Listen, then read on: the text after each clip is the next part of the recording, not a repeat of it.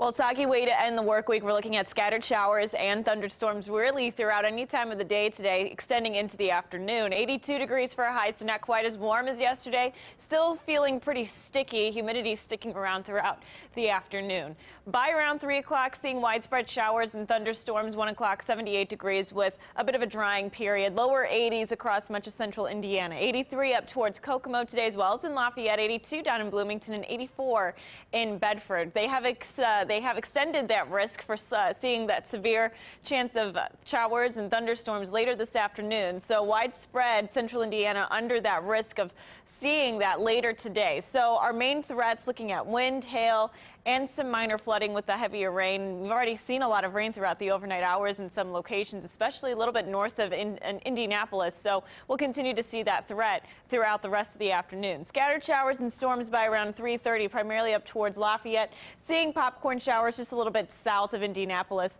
Then we'll see more in the way of showers and thunderstorms by around 7 o'clock as we see more redevelopment right behind the scattered showers in the earlier afternoon hours. So 84 heading into the weekend, some morning storms giving way to some drier conditions throughout the afternoon Saturday. Sunday, drier of the two days with highs in the middle 80s.